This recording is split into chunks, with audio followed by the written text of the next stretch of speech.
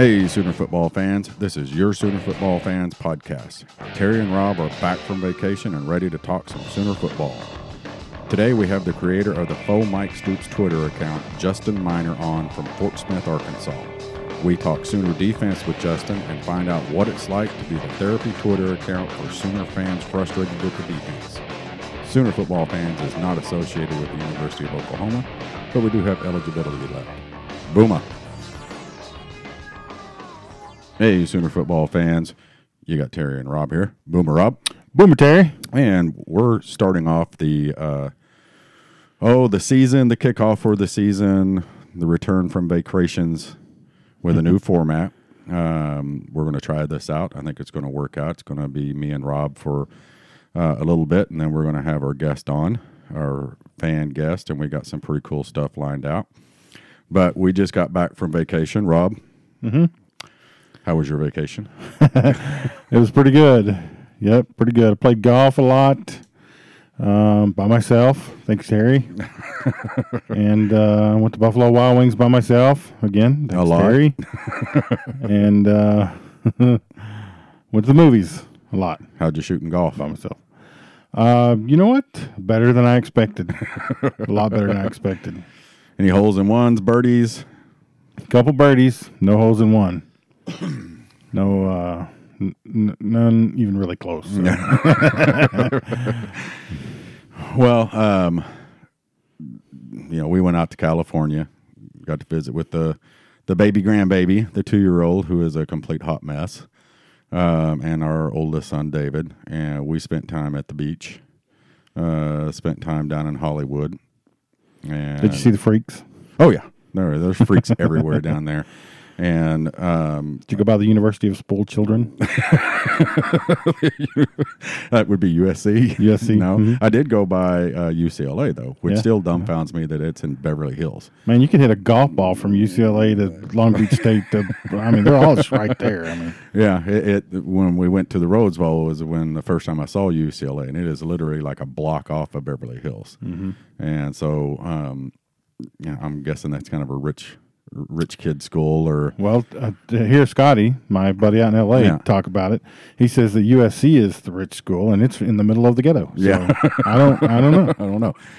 But uh, thanks to Scotty, since you brought him up, that you know we had uh, four very good seats to uh, the Rangers game. Uh, Dodgers, Oh, Pirates. Dodgers. Dodgers, Good Pirates. God! I And what was the score of that game? it was like eighteen to two. That was a beatdown of massive proportions. Yeah, it, it wasn't a game. It wasn't competitive at all, but it was a fun game to watch. Well, sure. Yeah. you know, lots of action. Yeah, lots of action, lots of hits, lots of doubles. Um, and uh, but you know, I I sent you a text while we were there. It was you know, Mm-hmm. did you know this damn thing's on top of a mountain? and that if you haven't been to Dodger Stadium, it is built on top of a mountain. They like cut the top off of a mountain and put a baseball field on top of it along with a parking lot. Um, but it's right off of downtown. It's a it's a beautiful scenery. It's a lot like the Rose Bowl. I mean, it, just the surrounding of it is just gorgeous. And one of the things I like about it is, you know, with all the new technology, all the teams now are putting up new screens and stuff. They still they still have the old diamond shaped screens out there that they've had forever, and they've just replaced what's inside of them. So you re- you you know some of the stuff the heads the top of the heads cut off because of it's it's an angle Yeah. but they've left the you know the aura of the old stadium there with those screens. That's So, good because they got plenty of money. Yeah, they got Yeah. plenty of money.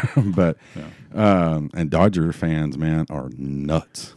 I mean, they they love their Dodgers. You know, I don't know why we didn't go to that stadium when we were out there for the Rose Bowl. I guess probably because of the Rose Bowl. But back when I was a regional director and I traveled a lot, uh, every big city that I went into, I always went to the baseball field. Yeah. I mean, wherever that's, you know, even if it was, you know, football season, I always went. Yeah, and just- seen the, just to see it. Yeah, absolutely. So I've been to quite a few. Yeah. And I toured several, but I've never been to Dodger Stadium. Uh, you know, I've I've been to what's uh, AT&T ballpark there in San Francisco a Yeah. couple times, two or three times. So that was pretty cool, but uh, never never been to Dodger Stadium. Yeah, but it, it was definitely, um, you know, a cool experience. And again, thank you, Scotty. But uh, I was repping the Oklahoma City Dodgers gear, and David was wearing the Oklahoma Sooners gear. Of course. And uh, he got a couple of boomers ye- yelled out at him, of course. Even all the way in L.A. and actually, when we first went in there, he went. Uh, his his wife was about to starve to death, and so he went straight over, and he he didn't see the guy, but he walked past the guy wearing an Oklahoma football T-shirt. and and uh, I said boomer to him, and but uh, I had a lot of comments on my uh, Oklahoma Dodgers, Oklahoma City Dodgers hat. Yeah, and didn't you tell me that half of them didn't even know that the Yeah, farm about ha- half of them were like, "Hey, that's a cool hat," you know, uh, and you know, and I said, "Well, you know, how you know how is it? You know, OKLA, that's pretty cool." And I was like, "Well, that's the Dodgers Farm Club AAA." Oh, really? I didn't know that. now there was a few people that just walked up, loved the farm hat hat, you know, far or you know, a farm team hat. You know, Yeah. they were like, "Hey, that's really cool," and I said, "Yeah, I was from there." And so they asked me about the you know the team and the Um, You told them about the Sooners then? Oh, oh, you're talking about. Okay, my bad. um, but uh, you know, no, they were, um, you know, uh, you know about the field and the following of the team, and I, you know, I told them it's about like any other AAA team. You know, if they're doing real good, normally there's good crowds there. Every time we've been this year, it's been a good crowd. And they were until, gosh, this last month they took a nosedive. Good grief! Round Rock beat them like eighteen to two the other day. Oh, it was terrible. But um, no, the Dodgers game was a lot of fun. Uh, didn't see LeBron. Uh, No? We were hoping to see LeBron, and Caleb would have been really pissed off. But Would he have been man crushing on him? yeah, yeah. Caleb. Uh, no, but like I said, we went down to, um, you know, I put on uh, Twitter and Facebook that two things happened the first day we were in California. Was I paid four dollars and fifty cents for a gallon of gas, and thirteen dollars for a pint of beer. Oh and the the four dollars and fifty cents for gas was kind of we just were needing gas, you know, just to top off our tank to get you know into Palmdale. wasn't sure I could get across the Mojave all the way. Well, for for that price, I could have brought you some. Yeah. and, and still it was yeah it was it was horrible what you know when when you see your you know uh the dollar amount at you know 35 and you look down and there's like three gallons and, and then it was a bad deal and then uh saturday night we went to uh um an oriental uh festival uh down at the racetrack i think it's santa anita is that what's out there "Well, I you got to be racist. it's what it was It's called just a festival." it was the Oriental Festival. it was like a swap meet, craft show, and food. And um, my son, you know, David, he's a pretty smart guy. We buy one cup of beer, or he bought it. I didn't. The first cup of beer. Well, we pull around a wagon with the grandbaby in it and a ice chest full of beer, and you pour them into the cups. And we ran out. And I was like, I need one more beer before we hit the road. And went up to the Budweiser tent and a little cup, you know, like you get at the Dodgers games or stuff. Thirteen dollars. I was like, oh god. What's wrong with you people? oh my gosh! So what I normally pay for a twelve pack in Oklahoma, I got a cup of beer. Mm-hmm. So needless to say, we didn't do uh, very much carnival drinking after that. So, but a lot of stuff happened in the Sooners world while we were gone. I couldn't keep up with it. I tried. Wait, I want to know some more about this Oriental thing. Okay. I'm joking. i'm uh, a lot of stuff happened in the, um, you know, Sooner football. I tried to take notes, ask for some, you know, input from the fans out there. I mean, we got some new recruits committed. Uh, Woody Washington, a DB, and Marcus Majors. Uh, the opening results um, down in uh, uh, uh, Frisco uh, when the the uh, seven on seven with Spencer and the boys down there. Oh, yeah, yeah. Uh, when they came from behind, uh, or came from the losers bracket, and apparently just smoked everybody And after you got the his losers fifth star too, right? yeah. yeah. Yeah. And Spencer got his fir- uh, fifth star. Uh, Jump Gear came out, uh, Mm-hmm. showing it with the smaller font. Um, you know, I don't, it's, you know, hey, it, it, apparently it's a huge thing with the recruits. And it's, uh, you know, one of the few schools, you know, um, I do agree that it does kind of look like a upside down horn um, if you look at it from afar. We're So- okay with that, I guess. Uh, the All Big 12 team came out, the Big 12 preseason rankings. Um, Jalen Redmond has some media health day, right? issues. CeeDee Lamb, some stuff on him, and Media Day Yeah. kicked off today. So um, we're trying to catch up on everything. Um, and uh, we're going to be kicking back into the the social media a lot harder now uh, that we got our feet back under us. And I got caught up at my regular job after being out because I was off two weeks. So um, had to kind of focus on that. Uh, you know I got to pay bills. So um, but a lot of stuff went on. Um, anything jump out at you other than No, I was just talking to my my buddy Scotty out in L.A. today, and uh, he pays for the uh, like the Oklahoma package or whatever. And he's like the only one in California or whatever that has it. But he said he flipped it over there when he got off today and was at home. And uh, he said he grabbed a beer, put his feet up, and he was you know all excited to watch media day. And he said they had inserted the Texas Longhorn now in there Oh, for the media. And he's like, "What is going on?" He said, "I about threw the beer through the TV or whatever." So. It was pretty hilarious. so they just cut off the coverage out there Well, um, so I guess it was Texas's turn or whatever. I don't think they're till tomorrow. Oh, was that right? Yeah. Well, he said he, the only thing he could get was the Texas Longhorn Network, where he was supposed to be having media days. Scotty, you accidentally paid for the Texas Longhorn Network, buddy. I hope that's not the case, Scotty, because if it is, oh my jeez, shunned. yeah, I watched uh, about all I caught was I did a little bit of reading before I did watch um uh, Lincoln's uh, press conference. That's about really all I got. I made some notes and stuff, but we're going to kind of save that the Big 12 Media Day for tomorrow. Uh, we got some guests coming on, some media folks coming on tomorrow. uh, and trying to get everything squared out with them. So we'll we'll do a full um, you know capture of all the Big Twelve stuff, the Big Twelve media days tomorrow. But um, hey, did you want to talk about soccer? Didn't they just Uh, play no. like some soccer games or something? yeah, something like that. Some I don't even know who won. uh, I I don't. mean, I don't care either. But Yeah, hey, and some something to do with tennis. Something happened. yeah. Some- Wimbledon. Some people. I don't know. Who- I I know that somebody- Serena Serena. got beat Oh, pretty. You know, I think she got thumped. well, there's nothing to talk about then. Yeah. Uh, we do have our uh, ESPN the magazine body issue in. Flip through it. And Rob's already flipped through it. Yeah. I hate Greg Norman. yeah, Greg. yeah, Greg. No, we won't even talk about the, the Good men Lord. in the issue, but seventy years old and Save some for the rest of us. yeah. But uh, no, that came in. Um, you know, uh, like I said I tried to keep up with stuff, but for, you know, spending time with the family and doing all that stuff just kind of I didn't. you know, just kind of pushed it back. And so uh, now getting back in gear to, you know, it's football season. We're getting close. I love it when Big 12 Media Day comes in and um, you know that it's just around the corner. So, uh, but um, other than that, that's about all we got. We, you know, we're getting caught up on our schedule, so we'll be contacting you guys out there pretty soon. Um, we got people scheduled through, fan scheduled. Where'd my schedule go? I wrote it down.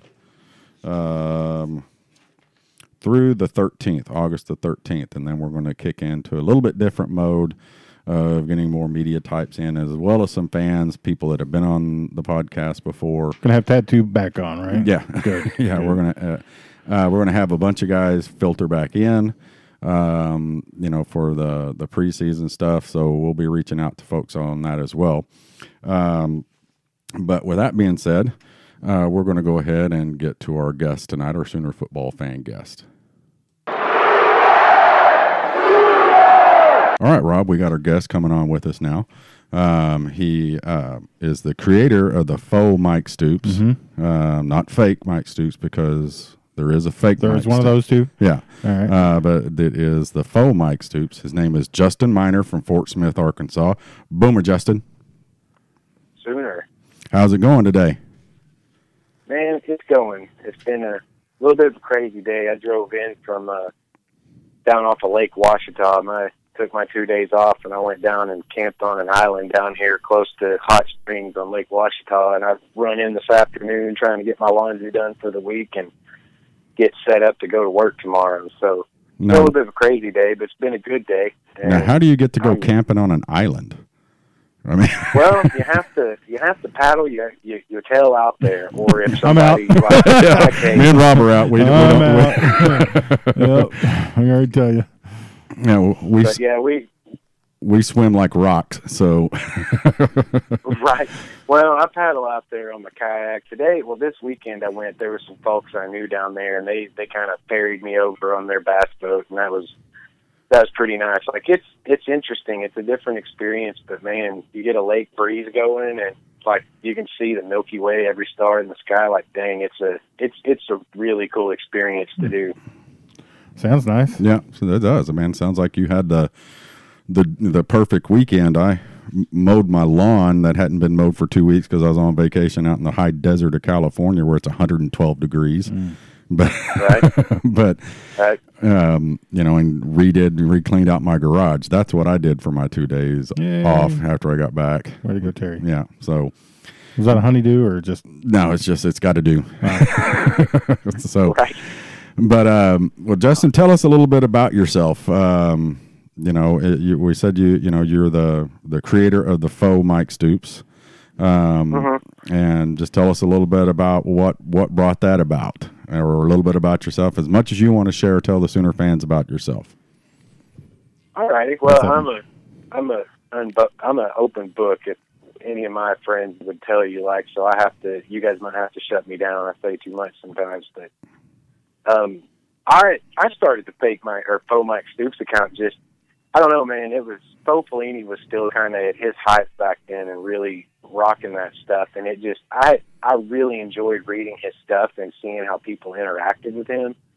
And it kind of just struck me from that. And it was more just like a novelty for me. Um and i guess it still is. It's all it is is a novelty. But i really discovered that i had a lot of fun interacting with ou fans like sooner fans the way that i did. And i realized real fast that i was a really good like frustration outlet man. People beat me to death and i was like i kind of got into it. I was like this is nice. Like i'm actually providing a service to people you know?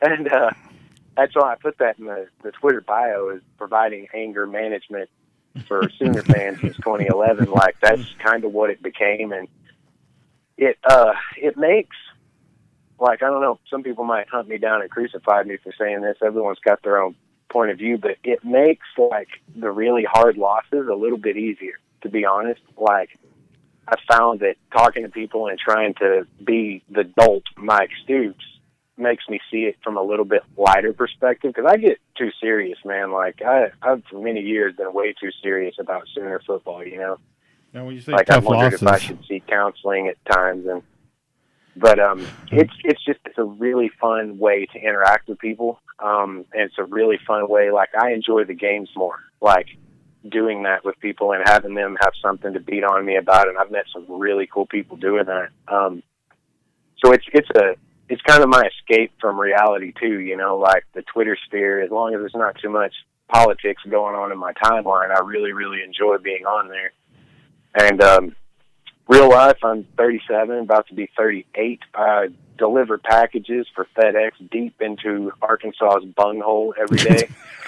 Um, So basically, Oh the state God. of Arkansas, because it's pretty much a bunghole, isn't it? Man, it is. It is. Like Making I'm fun of on Orientals TikTok from earlier. Arkansas Peach, no but, Arkansas. but it is, man. Like it's if Arkansas is the bunghole. Where I deliver is kind of like the hemorrhoid. Um, it's it's a interesting job every day, man. I I have delivered some. I have delivered some ingredients. Let's just say I know that's what I was delivering. Get out there, three hours from anywhere, and I'm like, how do I give this to this dude who clearly he he could he could end me and make me and my entire van disappear and nobody'd ever even have an idea.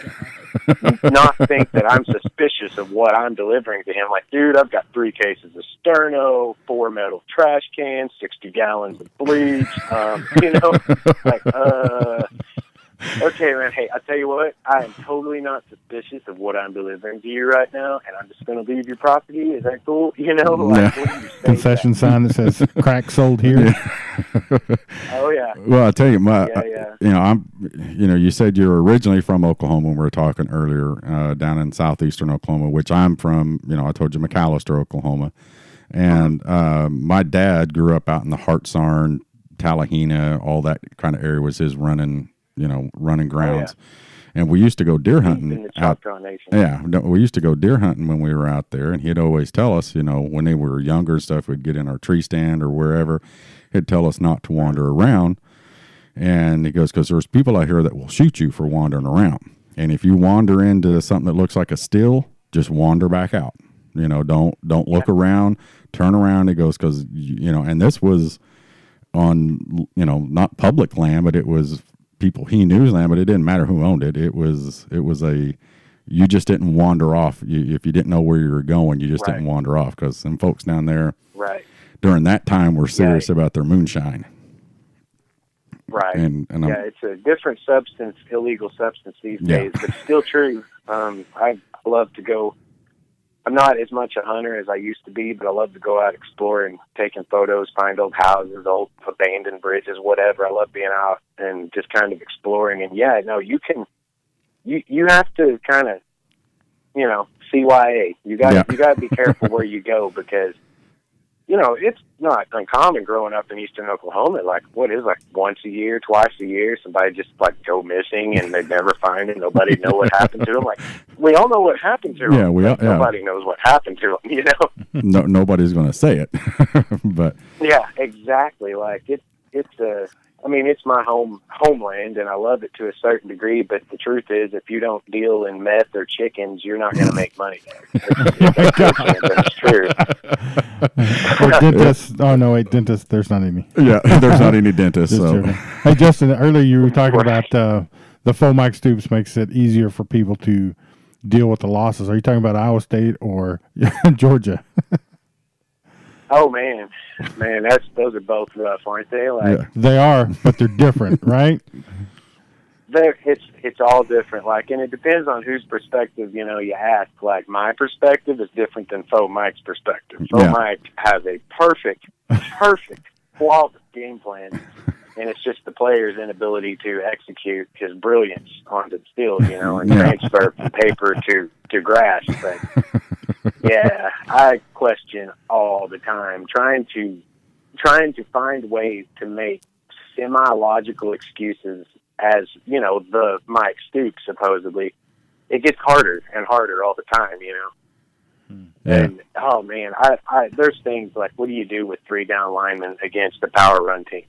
How do you spin that as a, a doltish, uh, you know, defensive coordinator? What do you do with that? yeah. You, you know that you know other than like you said it's the personnel that I have out there I can't trust to put them in anything else. Well, right. you know, he's running out of excuses too because he's getting some depth now, and he's getting getting a lot of. uh He's got to be on the hot seat for real. I would have thought last year would have done it. Um, I was like, seriously, okay, do I like take my followers and all this stuff and just like kind of quietly step into a closet and come back out as whoever the new defensive coordinator is, or do I stay faux Mike Stoops and tweet from the bowels of the stadium plotting revenge against you know Lincoln for the rest of eternity?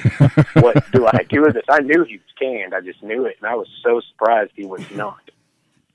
Like I don't know. I don't know. Like this year will be interesting, though, in my opinion, because he does have some depth um, with with the recruiting classes coming in, and with you know he's got some pretty decent returning starters. We do like they're they're all young.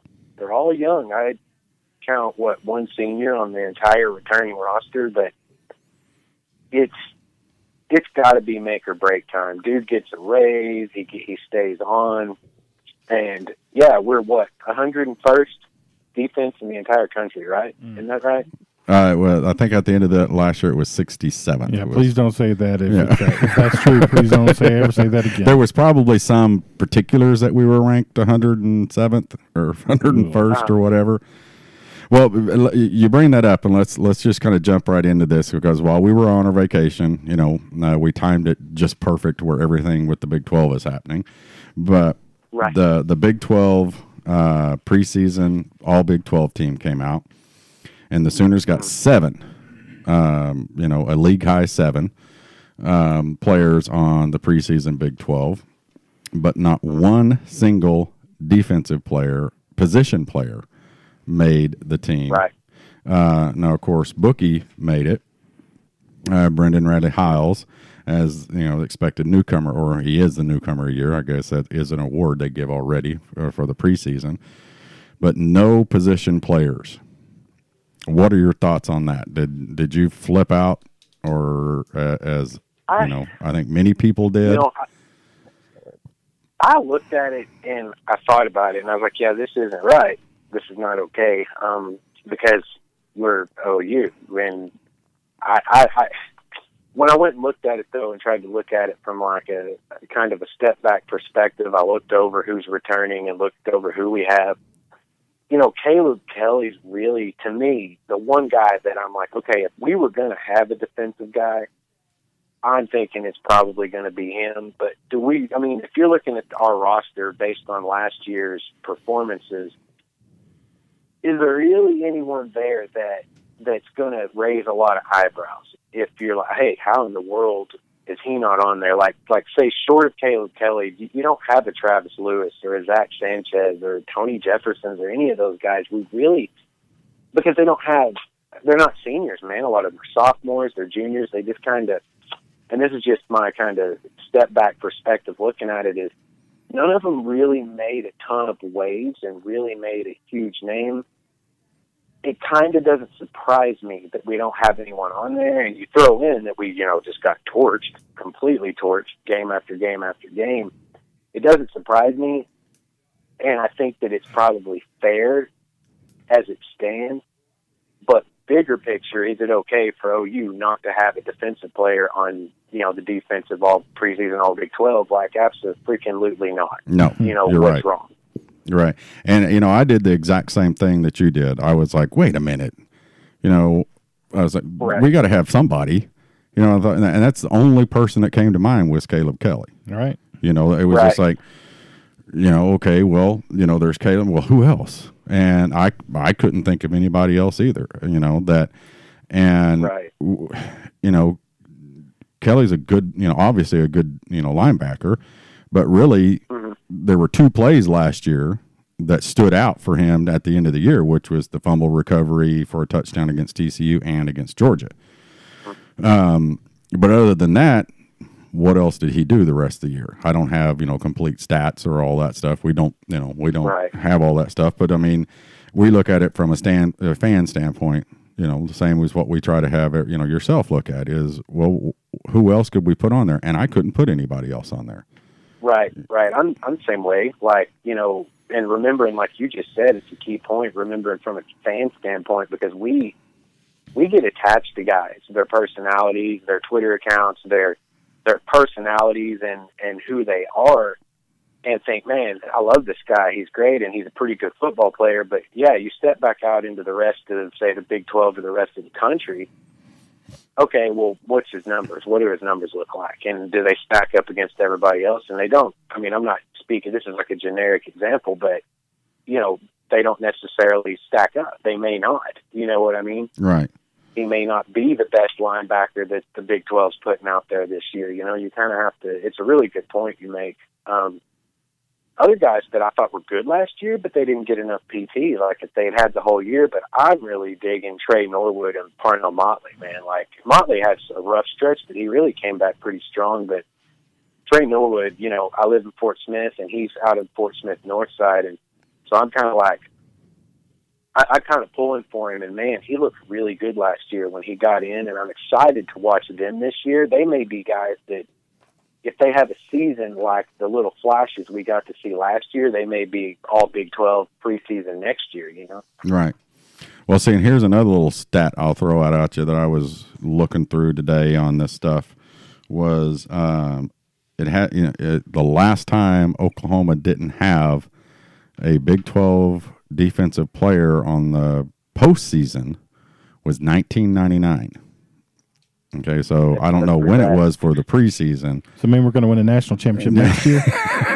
so, Right. uh, you know, Hey, it's might bode well, huh? yeah, it's been since '99 that the end of the season um, there was no sooner on it. So, um, you know, I, th- I I think you know maybe by the end of the year, you know, I mean preseason is preseason. You know, we you know we it, it's all you know um, media speculation. It's the me, and that's what it Right. is. It's the media's take on who the All Big Twelve is. Who knows? Caleb Kelly may be on the the you know the All Big Twelve team. I I think you know if if uh, Bookie works, you know, does what everybody's expecting him to do, he's going to be on. You know, forget the newcomer. He's going to have the position, whatever that ends up being.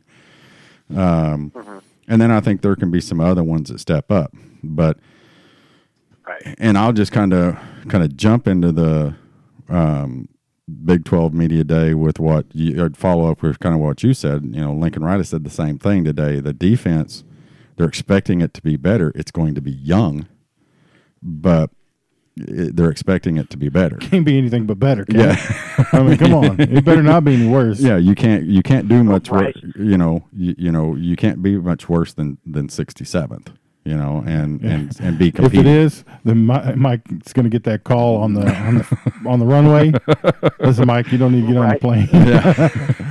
I want to tell you, like, I would, I would, that would be gold. That would be Twitter gold for faux Mike Stoops to get the Lane Kiffin treatment. Oh man, that would be Twitter gold. but let's face I mean, you know, I'm like you, or I think Rob's like you, you know, we're fans, okay? And we're you know, for the love of God, we want the guy to do do well. We want it, you know, he he didn't he didn't forget everything he ever learned about football. I mean, he's had good defenses. Yeah. I mean, we were tough at one and you know we want him to do well, but there comes a point, you know, it's just like you know with Josh Heupel as, as the offensive coordinator. You know, he's the, he was the golden Right. boy of Oklahoma football. We all wanted him to do well, mm-hmm. but when it came Right. down to it, it was just like, good God, we can't keep watching this type of offense. Yeah, it was bad. You know, Right. And right. I I often wondered that about Bob. Like, I was like, it, I mean, Bob to me strikes me as a really good guy. Like, he just seems like he's a good human being. And my brother and I used to talk and kind of speculate: is it possible he's too good of a guy and he has too much loyalty, like to a Josh Heupel? Because you've still got to go out there and win football games, and there's a pretty good stretch of time. I mean, I was at that stinking Baylor game. Oh my God, and we got roasted. I was there in Baylor's allocation of seats. That was one of the most miserable games I've ever had to go to. um, and it's just, how long do you stick with it? Like it seemed like it was too long sometimes, you know. Yeah, and, and I th- I think you got a you made a good point there. Is that you know, and I think it's a good fault to have. You know, we're you know we hope that we can all be loyal to you know to a degree, um, but I, I you know I think he was loyal to Josh as far as he could be because if anybody knows how the Oklahoma fan base is, and the let's face it, the administration and everything else. I mean this this football team is a business. I mean it's a revenue generating machine, and Oh, if yeah. if you're not winning games, you know, and, and when when the podcast and the sports shows and the sports radio shows are all like you know we're not doing anything offensively. We're in that same boat this this year or this past year with with Mike. Our defense was was ter- our defense kept teams in in the games, Absolutely. you know, and um, Right. and that's what fans' reactions were. It wasn't that Iowa State, you know, beat us. It was our off our defense got beat by Iowa State with a middle linebacker playing quarterback. Right. you know, it, it was kind of like a it was almost like a byline joke. Like I mean, yeah, you got beat by the middle linebacker, throw tossing the ball around. That that's Yeah. not for that's that's a I would say if biblically speaking, that is an unforgivable sin. You know, yeah, Like, it's like getting me and Rob to come out of the pay. stands and you know, Rob, I'm the tight end, you're quarterback, let's go. Yeah, because I'm know- not running. right? right. Yeah, you know, it And- it, it, it, it just didn't make sense that um, you know, I think this is, you know, and I think everybody agrees with this is the year, you know, because you know we've covered it on other podcasts. You know, you you got to remember, we, you know, we lost two games last year. We were in the semi, you know, in the semifinals where we deserve to be, but there were four other games we could have lost, one possession away from a loss, and Oh, that's yeah. and that's Baylor, Texas, Kansas State, and Oklahoma State. You know, w- Mm-hmm. we were that close. Whoa, Terry. Whoa, right? sir. Well, it's true. Oh No. No, we we didn't almost lose to Oklahoma State. yeah, we No. we didn't almost lose, but uh, you know ha- we were running out the clock, and when Sermon busted the se- seven sixty five whatever it was yard run to ice it, but it was a five point game at that point. You know, Yeah, I think I think I feel what you're saying because that Oklahoma State game, you know, every year it's just turned into to a freaking drag race. Um, Yeah. It's just become a sprinting match, and I'm sure it's entertaining for people all over the country, but it's also embarrassing. You know, I mean, but I say- I think I see what you're saying in that the way Oklahoma State was scoring, if say we hadn't scored first, or if we had missed one possession putting points on the board, it could have been us playing from behind the whole time and them maybe icing the game. I could, I if that's kind of what you're saying, like I follow that completely. yeah, I mean look at look at Kansas State. You know, Kansas State almost beat us playing boys club football. Whoa, Terry. Whoa. okay, Rob, I'm you know you know I'm right. Okay, when when you know we we coached little league football together. Our sons played together, and we also coached Sterling Shepard. Okay, Right? in the fourth grade. Rob, what was our play in the fourth grade? Tied in reverse. it, was, it was give the ball to Sterling. oh, that. Oh, you fourth grade. Okay, I'm sorry. Yeah, fourth grade. Yeah, fourth grade. Yeah, give the ball to Sterling. Yeah, give, give the ball to Sterling was our was our playbook. Okay, yeah, we had other plays, but that's what Kansas State did to us. They ran their quarterback right up the middle. You know, on, on basically a quarterback, you know, a power eye quarterback keeper. Right. That's all they did, and we never stopped, never stopped it. Yeah. So How do you, how do you not, I know I'm with you, like, how do you not, I've, this is a question I have, I've never understood, and I mean, I'd love to hear what you guys think. What in the world is wrong with, okay, we're playing the first half of football and we're getting torched. I mean, just absolutely torched.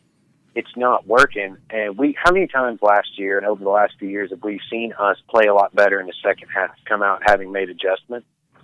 Um, if you're getting torched in the first half, this is like a legitimate question because I don't actually coach football at a collegiate level. Why is it so hard? What's so bad about um, halfway through the first quarter or the second quarter saying, guys, this isn't working. Let's swap it out. Let's change it to this. yeah, let's do something else. Yeah, You know, if, uh, I, I just, many times Go I have said I want Mike, and he doesn't owe us any explanation. I know that, but I would like for him to say we're running this stupid looking defense that's getting us torched because X Y Z, whatever those things are.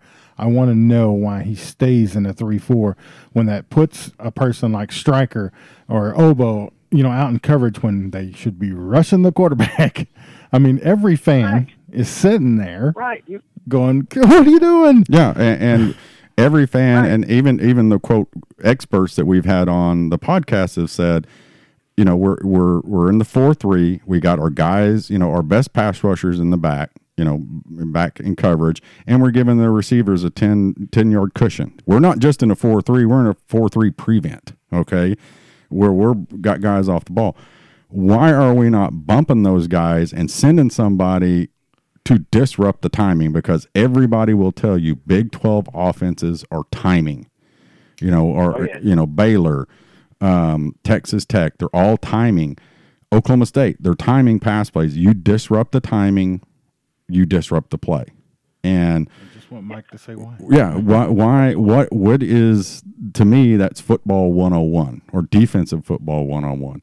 I'm like you. Right. Rob's like you. We're not paid nine hundred and something thousand dollars a year to coach football, but you know you got to do something to stop, like you said, getting burnt. I mean, and Right.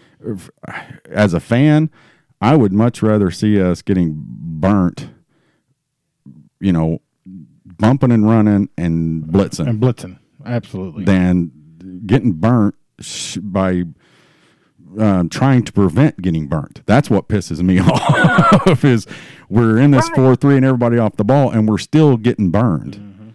So do something Right. different, Mike. I mean, for the love of God, for the you know, for my heart health, for my neighbor's ears, you know, Right. they, For our sanity. yeah, for our sanity, do something different. And and it just doesn't make sense that I don't know if if it's just his personality is I'm going to do it this way or what. I mean, I'm like Rob. I would like for him to just, you know, I would like for him to sit down across the table from me and go, "Here's why."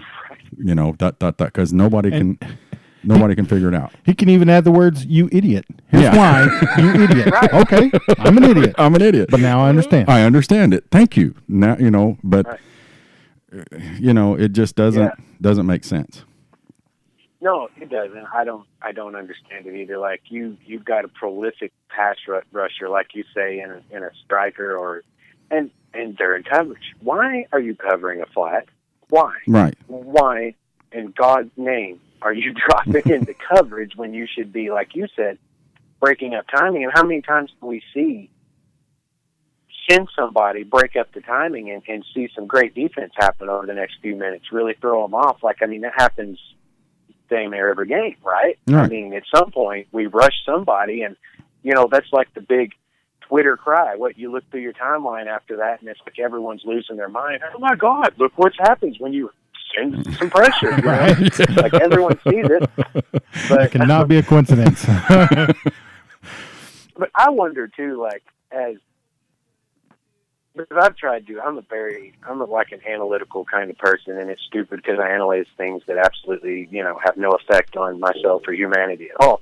But as I'm looking at this, I'm going, what could be going through this guy's mind? And one of the things I've always come back to, and it's probably wrong. This is totally hypothetical, but what if he's sitting there going, okay, I'm looking at paper, and these wide receivers that we're playing against, these guys are running four twos. My best D back's running a four five. If we go up here and man up and we bump, they're going to start burning us, and we're going to give it up in one play. Let's keep it, you know, deep cushion. Let's run our extreme prevent defense Right. and drop everyone in coverage and just try to keep it in front of it. Slow it down as much as we can. We know they're going to score, but let's try not to do it in one play. And that's like the only logic I can come to. But the problem is, is they still carve us up and score it in one or two plays when they hit that gigantic seam that runs from, you know, I don't know, L.A. to New York, and they can basically walk into the end zone. And you say, okay, well, I maybe that's your logic, but or let's say I'm Mike Stoops. Hey, that might be my logic, but crap, this isn't working either. What are we going to do?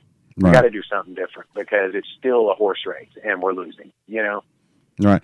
And you know, I, one of the things that that I still think happened was, um, you know, you know, prior to Bob leaving, I think him and Mike had an idea, okay, of a defense and how they could stop Big Twelve offenses. Okay, and I I even think it went back to um, um, Venables.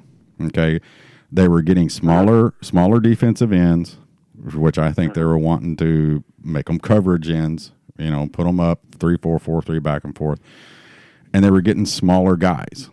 Okay, right? I don't know, you know, smaller DBs. Everything was smaller, and I think they wanted faster. And then they realize it's not going to work. One, it's not going to work in the Big 12. Two, it surely ain't going to work when you go up against Clemson in the semifinals. You're eventually you're going to get beat Right. down. Because look at what they're recruiting now. Now again, this is this is Lincoln's team now, and he has to say, "I want bigger, faster, stronger guys," and they are they are getting commitments from some giants. You know, six five, six six defensive ends. Obo is six one, striker six one, six two. That had to be a philosophy of the Stoops brothers going, "We got this. We're going to fix it. We're going to stop these Big Twelve offenses," and then went, "Well, that's not going to work either." And let's go back to what we did before. Maybe we are getting the best we could get, and that's, Right. that's all we could get. I don't know. because when we had the great defense, we were bigger, faster, stronger, and meaner than everybody else across the line from us. I mean, the Tommie oh, Harrises, the Dvoracek's, the Teddy Lehmans, oh, the. Rocky Calmuses. Yeah. Those guys, you know, Right. were eating nails and you know, crapping thunder and all that other ah. stuff. Not that these guys Those that we guys. haven't had have been great, Mick reference, by the way. but not not that these guys we had haven't been great, but it just it was a completely different style of off of defense than what we've seen. And I think that maybe it's Lincoln turning it back over to Mike, going, "This is your defense. This is what I want. Are you in agreement?" He's going, "Yeah, I want. I want. You know, the big giant meatheads. You know, and I say meatheads in a loving. You know, Yeah, we love them. yeah, we love.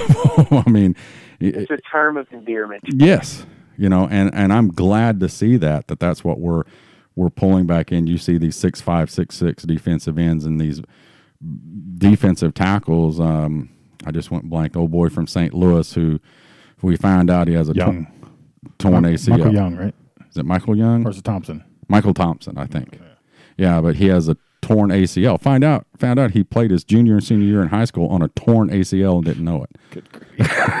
you know, Dang, That's and That's he's not going to get to play this right year. there. But that's the type of guys we're getting again, you know.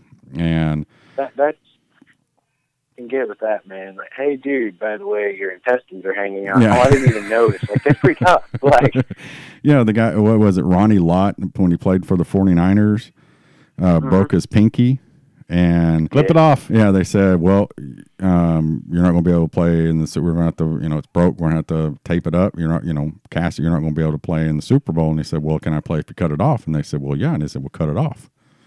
I mean, that's the type of Yeah. guys that you want. that's that's hardcore. I mean, that's that's next level shiz right there. They don't make them like that yeah, you know, you, you, you like Robert said, they don't make them like that anymore. But I think we're seeing some of these kids um, that we're getting that are like that, and that's the mentality that we, you know, that we want back at Oklahoma in our defense because it's not acceptable to the fan base. It's not acceptable. I don't think to the university. It, I don't believe it was acceptable to, to Bob. Um, and Right. I don't think it's acceptable to Lincoln because what I heard him say today was they somebody asked him point blank about the defense going to be better, and like you, you almost he almost had to say, well, it's got to be better, you know. But he said it's Right. young, you know, but you know we're really happy with the young that we have. So I don't know. It, it we've said it all along, you know, last year, and it's time to turn the page and start looking at this year. But if we were the number, you know, 45th defense, 35th defense in the country last year, we win the national title without a doubt. Oh yeah, Instead, we throw yeah, I agree. we we throw this. I, I always say it looks like a a spaghetti strainer defense out there that you know Yeah, it, it holds the water. It just keeps it from draining as fast. But it's kind of like throwing golf balls through a volleyball net. Really. um, yeah, it's gonna it's gonna catch everyone. That's a good a- analogy. I'm gonna have to yeah, remember that maybe occasionally one of them's going to hit that top, that thicker top line or bottom line, but the majority of them are going to fly right through them deep. Yeah. Well, hey, tell us tell us uh, on the faux Mike Stoops. Share a couple of you know nutbag stories that have happened. Direct, Oh, you know, man. Direct I- messages or actually in six years now, I guess. Or what year is it? 2018. It started in 2011, so six, seven years now. There's been a lot of things happen that were just, gosh, some of them are hilarious. Some of them are, my God, I've had people come in my my mention, not my mentions, my my inbox, like straight up threatening me, and I'm like, dude, I'm not the real Mike Stoops. Like, go back Oh, uh, do you know what faux means? Um, and and there and probably not because like I mean faux is not like real common terminology in southern states, but yeah, in or central states. But we, man, I've had that, and I've had the one one of them I kind of feel bad about. Like this story, this kid out of Dallas, somewhere in Dallas, inboxed me one day. This has been like probably four years ago, five years ago. Right, just uh, I hadn't had it very long, and he he's like, "Hey man, you need to come down to my high school and and come check me out," and blah blah blah. And I thought at first he was kidding around because I'm like, "Oh, Mike Stoops." I've got like you know 150 followers at that point, right? And I'm like, yeah, man, that'd be really cool. I was kind of playing along with him. Well, as the weeks went by, I started to realize he's still like inboxing me, and this kid's like serious. He doesn't get that I'm actually not Mike Stoops. And then I was like, well, crap, what do I do now? Because I'm going to make him feel like a complete idiot if I tell him, dude, I've been, I'm not real Mike Stoops. And he's going to think I'm an ass because I've been like leading him on, but I wasn't meaning to. So I kind of like I didn't know what to do with it. Like I felt so bad because I was like, I'm gonna make this kid like feel like a complete idiot, or I have to keep lying to him, pretending to be so Mike Stoops or real Mike Stoops. And I was so I kind of just like slowly quit messaging him back. I feel bad about that one. It, it's funny, but it's not funny. You know. Yeah. Um, I've had like this honest truth. At the time i mean until recently i was very happily married man um with a beautiful daughter so i have no had no intentions of anything whatsoever but there's been more than one female slide into my inbox and and uh, that's always kind of funny. I'm like you have no idea who i really am. What if i'm like Okay. five three four hundred and six pounds A light you know, bulb just you- a light bulb just went on over Rob's head. oh, really? Yeah. Shut up, Terry. That's happened a couple of times. I had one girl like I think I freaked her out. Just she probably figured I was a creep or something because she's just like messaged me and she's like, "Oh, I really love your account. It's really funny. So where did you go to high school?" And I was like, "Well, I went to high school 20 years ago in Hebron." And she was like, "Oh, wow, you're like really old." And I'm like, "Yeah, I like really am." and then she just like disappeared, and I was like, God. "She's probably like, what a pathetic loser." And I'm like, uh, "Yeah, kind of." yeah. but But um, and then I've had a couple of good interactions. Like I, I that's kind of like two of my best stories. I think is when we were in the Champ Sports Bowl before Clemson threw a couple of D cell batteries in a tube sock and beat us to a bloody pulp. um, we, uh, I was tweeting at Champ Sports Bowl, and I was like, so because it's Champ Sports, right? I was like, so are you guys like, are you going to provide the jock straps or should we bring our own? And anyway, they tweeted me back and they were like, we suggest that you buy new. And that was a highlight for me. that was a, uh, what about the, the cup itself? And they didn't respond to that one. No. That's understandable. but, um, and then, uh, what else? Roy Williams, our boy Superman. I, I put together a GIF here, like this was just maybe eight months ago, if that. Like it's in the last year. I, I remembered a hit that he put on Tatum Bell back, and it was unfortunately a game we lost to OSU, but he absolutely just destroyed Tatum Bell. And for the last few years, I've been like, I really want to make a GIF of that, and I've been all over YouTube. Every year I go back, I'm like, somebody's going to have uploaded some of the older games. And to find it somewhere. And this year I finally found it, and oh my God, it's such a beautiful hit. He just absolutely took his head off. And so I put it into a GIF format, and I tweeted it out, and I just kind of mentioned, Roy, you know, Roy Williams. I was like, "You guys remember that time Superman rung Tatum's bell?" And it was Tatum Bell, and I thought that's clever and stupid. That's perfect for an adult like Mike Stoops.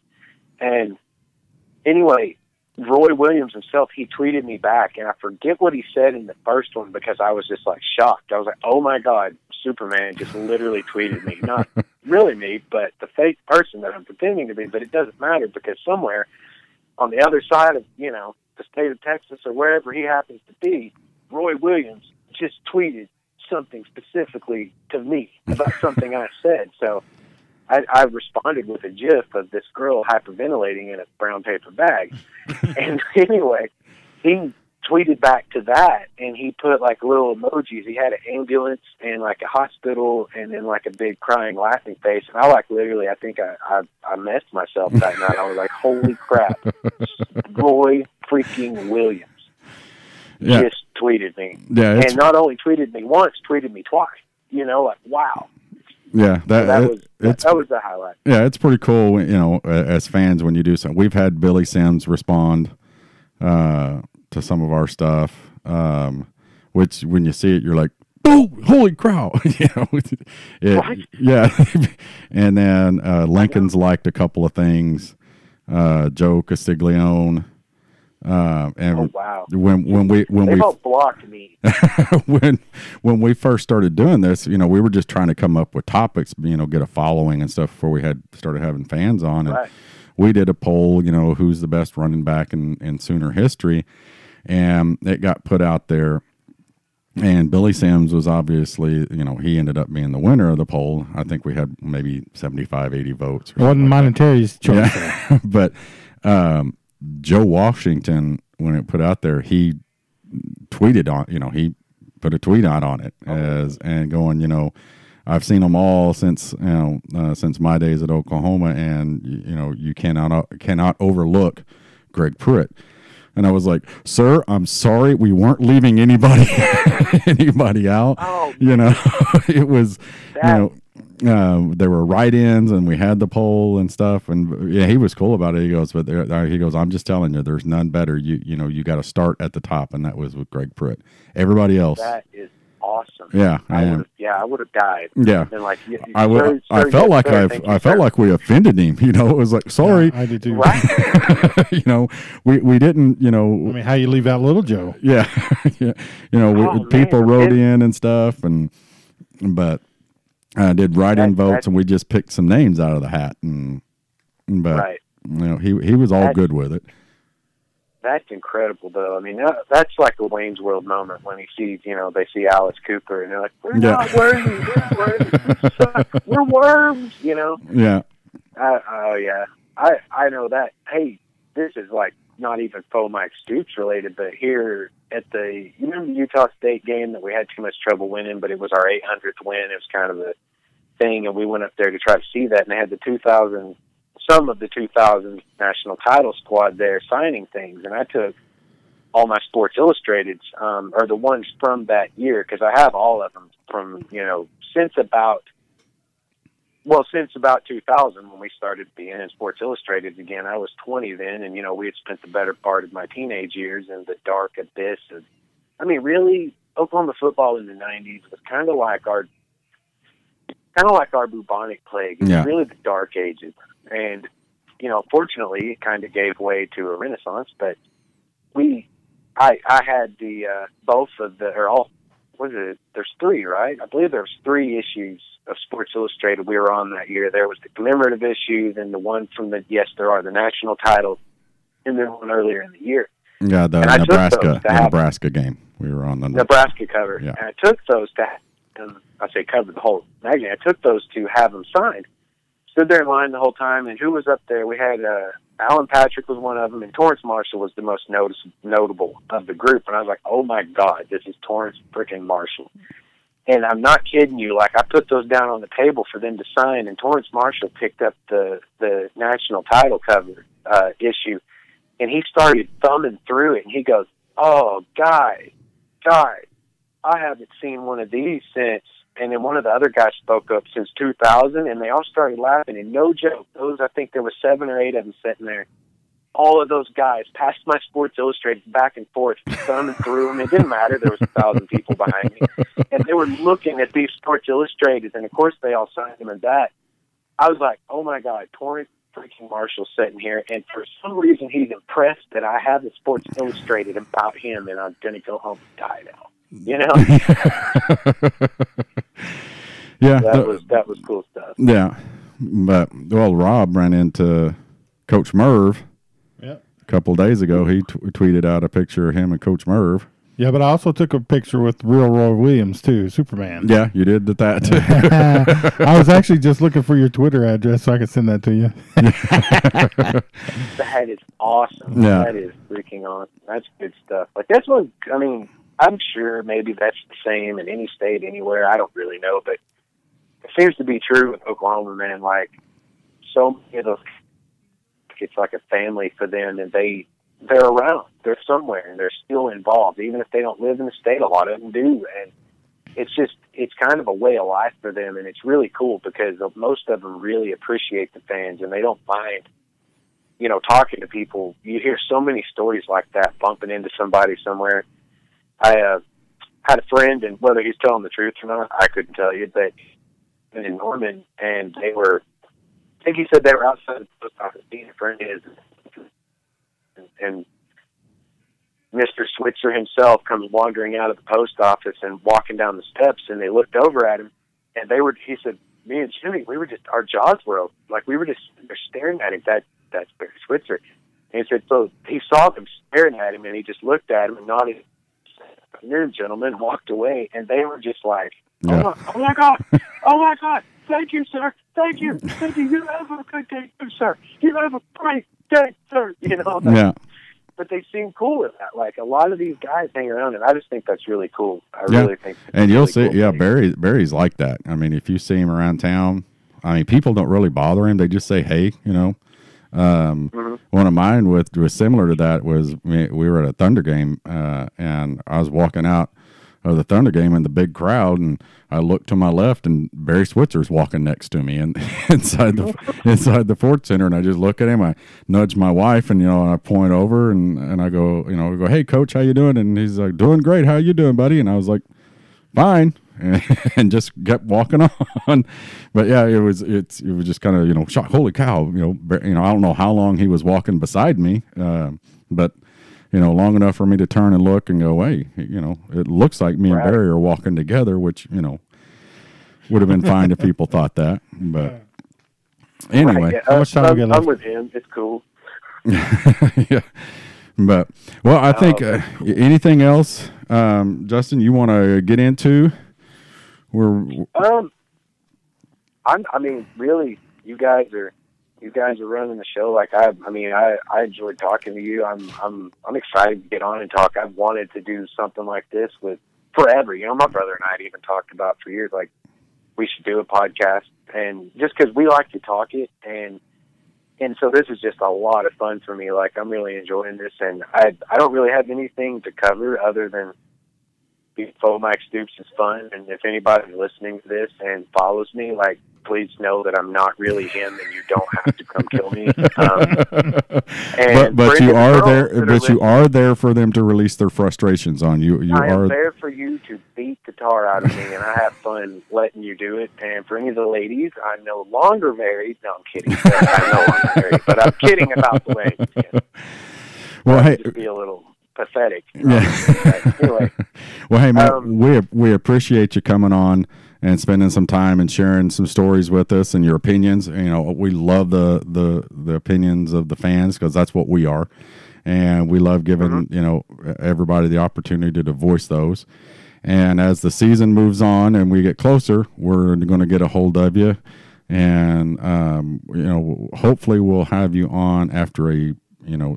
Um, oh a premier defensive uh, game and won't have to worry about you know dealing with uh, uh, the angry crowds uh, after a bad defensive game. But we want to get you back on. It's been a great time.